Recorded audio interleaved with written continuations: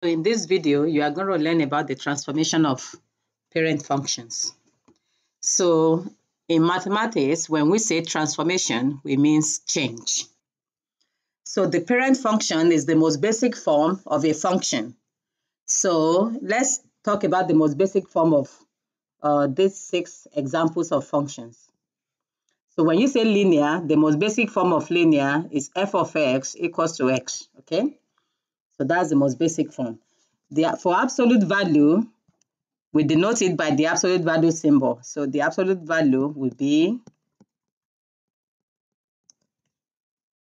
absolute value of x. So that will be the most basic form of absolute value.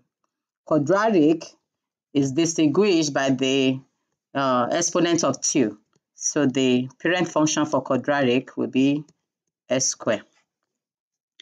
So, and for this square root, we can uh, we can we use the square root symbol to denote the square root function. So the basic form of square root will be the square root of x.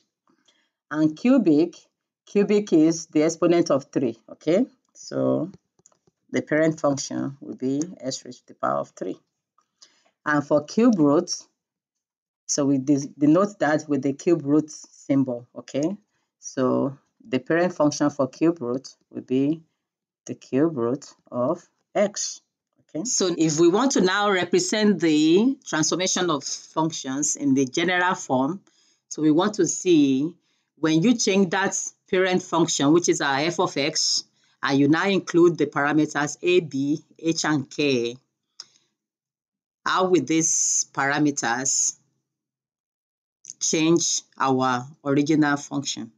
So I've already included a description here.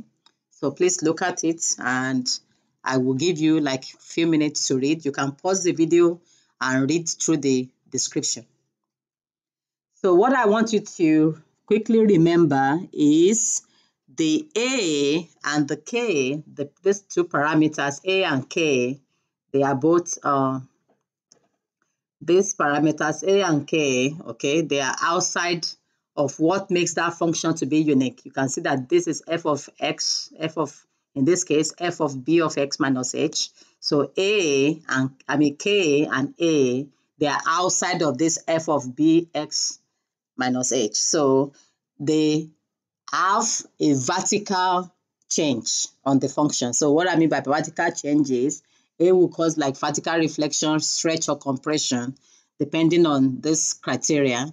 Uh, Whereas K, K will cause the function to move. So we call it a vertical translation.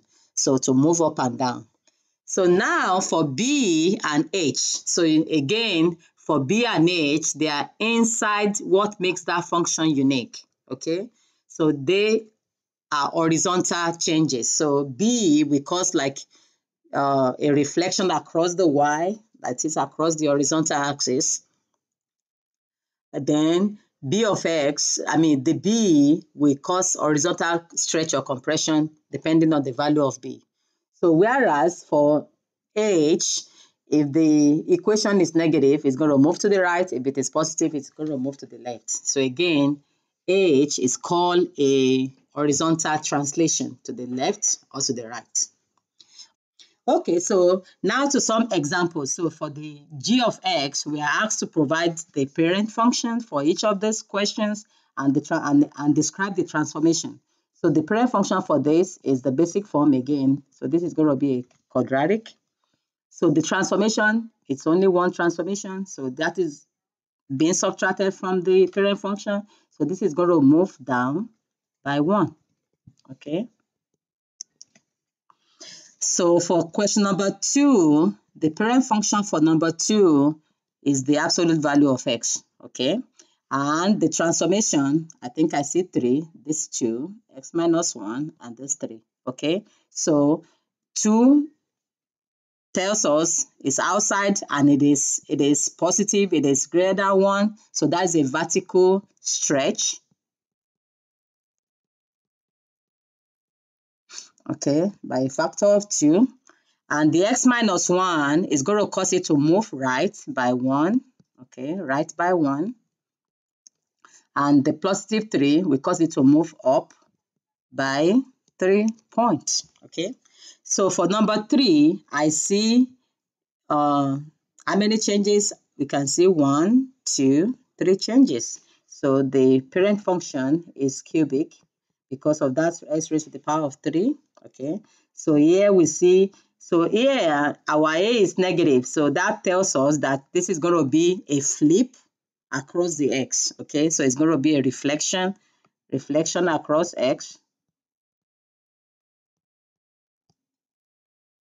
across x axis okay and then the x minus 4 we cause it to move to the right by 4 points okay and 5 will cause it to move up by uh, 5 okay? Up by 5 so for number 4 I want you to pause the video and see if you can do the number 4 on your own. And then you can compare your answer to mine later. So pause the video.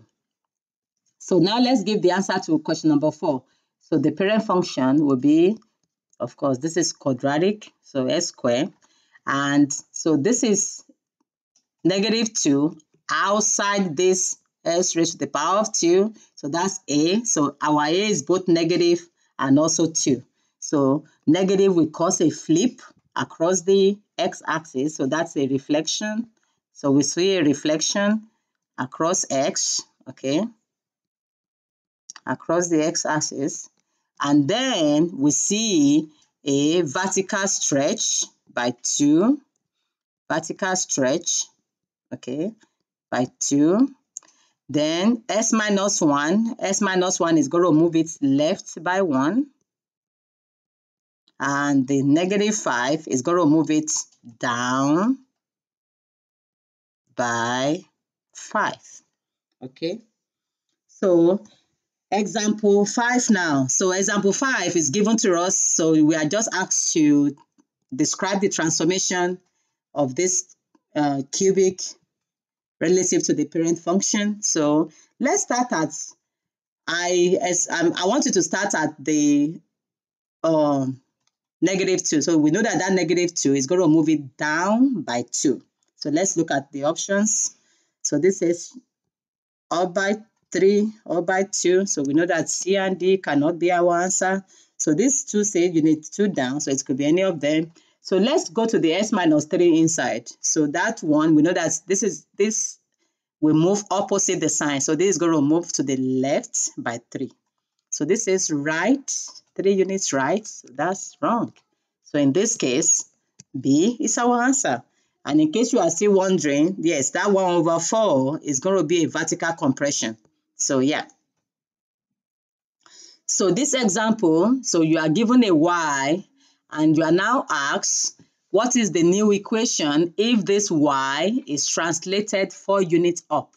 So to be able to translate any function by a unit, you have to add that up, you have to add 4 to it. So now our new function is going to be y equals to 9x plus 4 plus another 4.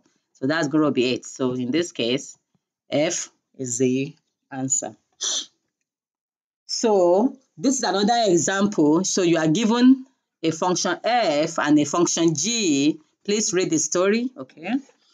A function f, the only difference is that g has 500 more than x, okay? So but we know that that is going to be, so g is going to be up by 500, okay? up by 500. So that means, so what does this mean? The airplane starts its descent from an altitude 500 feet higher. So the change will mean that the airplane starts its descent from an altitude 500 higher. So that's it, because it is up by 500. So it cannot be this, it cannot be this, it cannot be this. It cannot be this. So again, the solution here is F. Thank you.